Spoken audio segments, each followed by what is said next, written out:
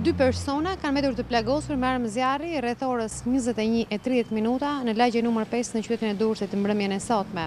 Bëhet fjalë për shtetasit 29 vjeçar Alfred Skonja dhe 25 vjeçarin Ismail Çyrbja, të skeduar këta nga policia e Durrësit.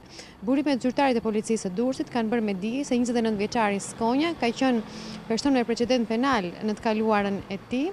dhe ka mbetur i plagosur me plumb në bark. Menjëherë pasi është dërguar në spitalin e Durrësit në gjendje të rëndë shëndetësore, ai është dërguar në spitalin e Traumës për mjekim të specializuar, ndërsa njëzet e pesë vjeçari Çyrbja është plagosur me plumb në këmbë dhe gjendja e tij shëndetësore është jashtë rrezikut për jetën. Aktualisht që flasim, është duke u marrë në pyetje nga specialistët e krimeve në Policinë e Durrësit për të zbardhur krimin. Paraprakisht, Policia e Durrësit ka bërë me dije se ka qenë një konflikt midis të rinjsh, ai që ka bërë të mundur plagosjen e dy personave në lagjen numër pesë. Sipas policisë, të dy personat janë të skeduar si përdorues të lëndëve narkotike në qytetin e Durrësit.